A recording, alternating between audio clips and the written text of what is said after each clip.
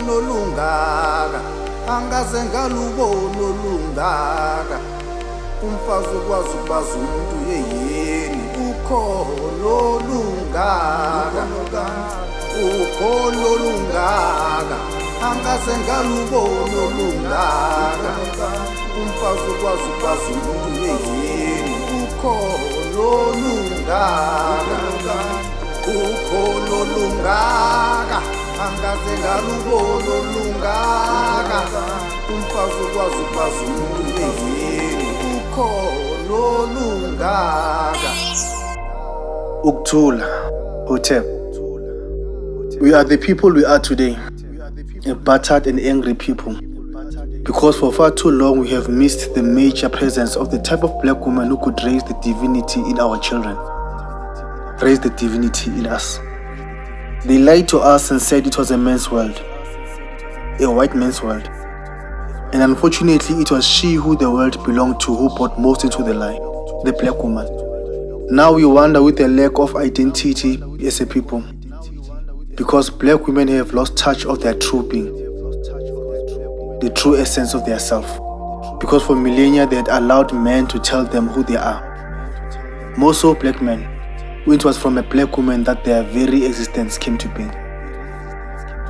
Now out of sync with the truth, vastly consumed with a lack of knowledge of self, the world has become overrun by black women who glide around half or fully naked, mentally and physically, who go about their business partly drunk or fully intoxicated, both mentally and physically, whose worlds continue to be redefined by the lies society has made their truths, who within they have come to be without, for from without does their identification begin.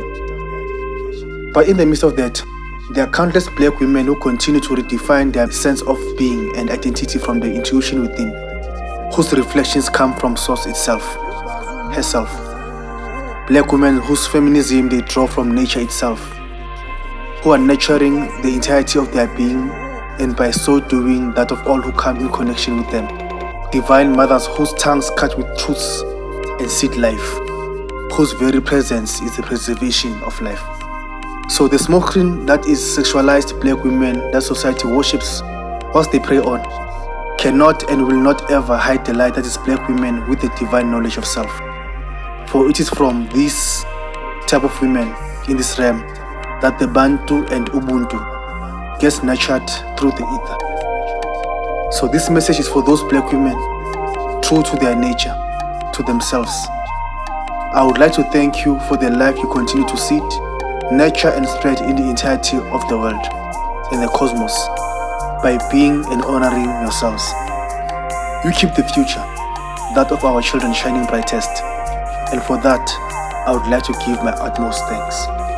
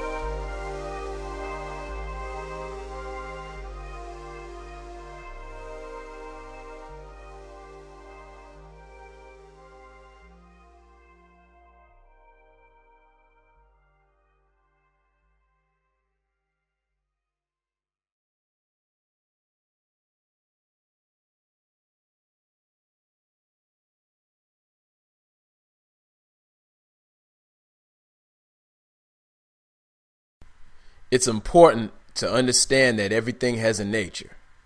Your nature is what you are, and that doesn't change.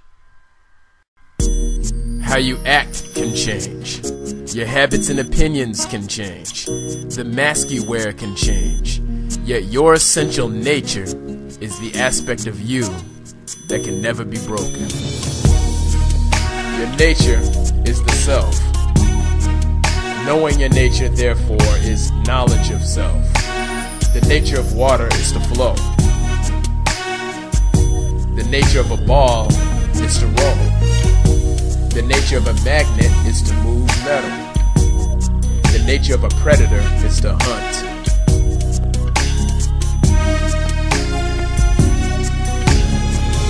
Why is it that when an animal is raised in a zoo and released out into the wild, it dies almost immediately?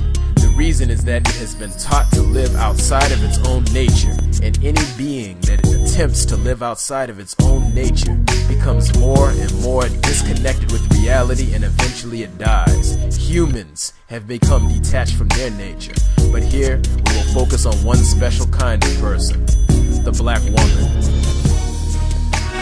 with all of the struggle and pain that the black woman has endured.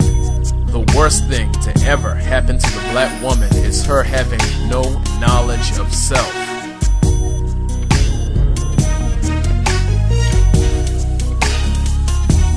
If she does not know herself, she does not know her own nature.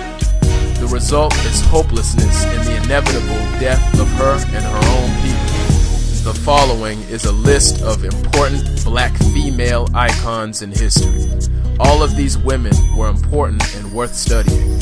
Yet, why is it that the upliftment of black women focuses on great rulers, emperors, and warlords?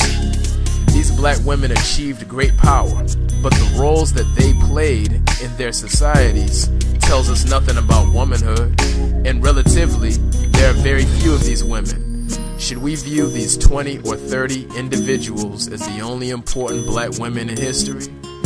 No, there were and still are billions of important black women. The most important women were not the Egyptian queens, they were the mothers of civilizations who made black societies possible. The most important women were not the warlords, they were the peacemakers that the households could turn to for nurturing and comfort. The most important black women are not usually famous. They're the ones behind the scenes who sacrifice their time and energy to keep our societies alive, to raise our children, and to support our men. A real tribute to black womanhood must recognize the everyday common black women. Her upliftment process must emphasize her blackness and her womanhood at the same time. Let's turn our attention to the essence of the black woman. It is the same as the essence of the planet that we live on. This essence, this essential principle, is shared by both of them.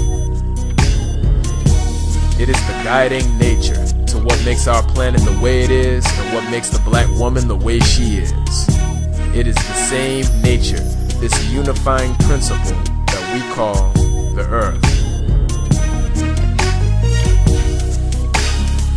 The Earth is the mother of civilization. We will now take some time to study in great detail the nature of the planet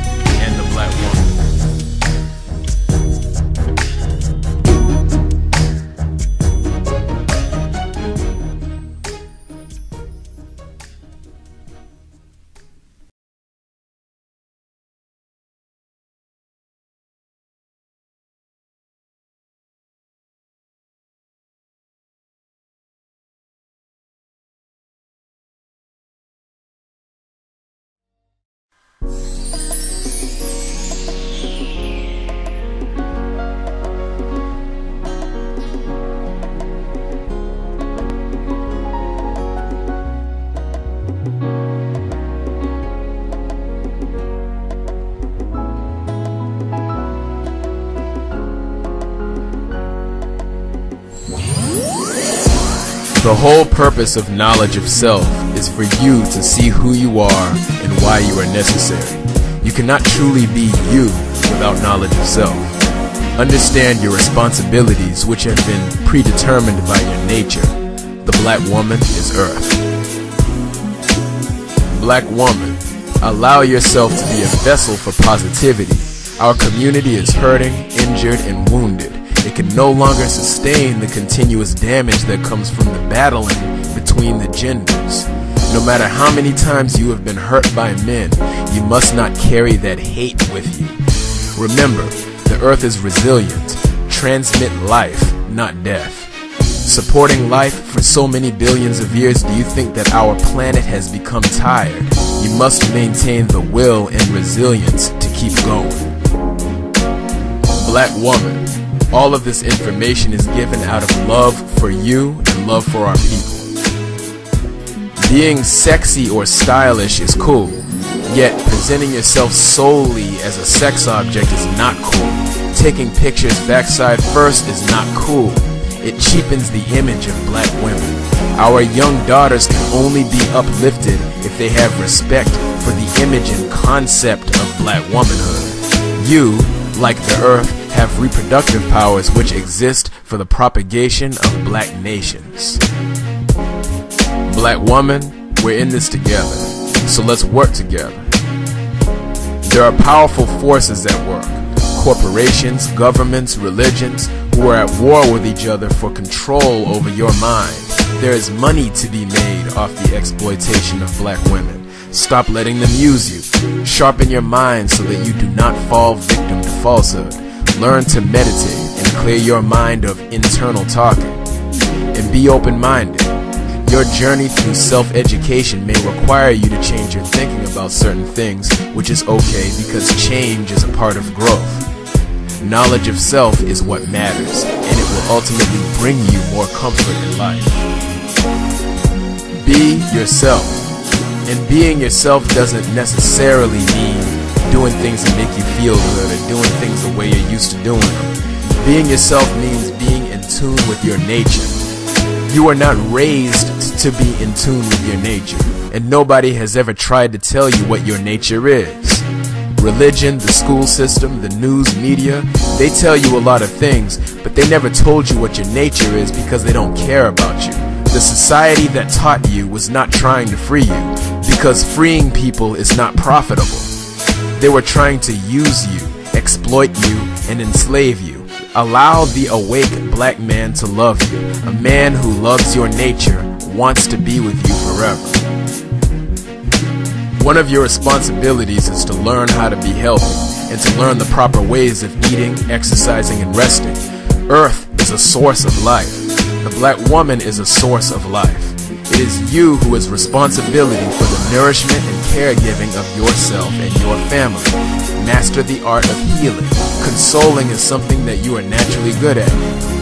Your community is in dire need of your healing touch. The black woman by nature is beautiful.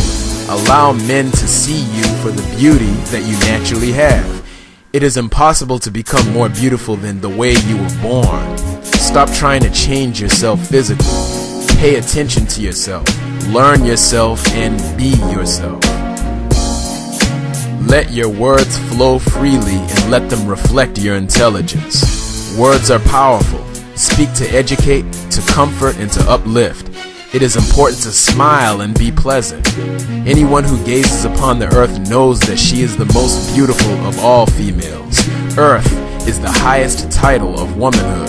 Even in the ancient writings, the goddess was lower than the earth, as the goddess had to constantly pay homage and respects to the earth. The earth was always the greatest of female concepts. Black woman, if you have any concern for the survival of your people, then it is your responsibility to place black nation building at the top of your priority list. We can win this if we work together. Let's turn around and reverse this hell that we're living in and create a heaven for us and our children.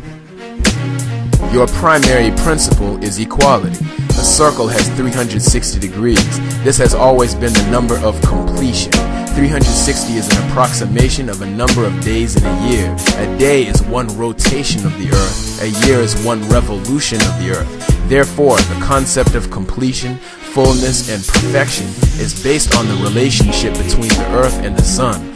living in accordance with your own nature, your black man, your children, and your community, you enter the realm of perfection. Humanity needs you. Humanity needs to see and remember the nature of the black woman. The earth is the ultimate female and must be loved, cherished, and protected. Black woman, remember who you are.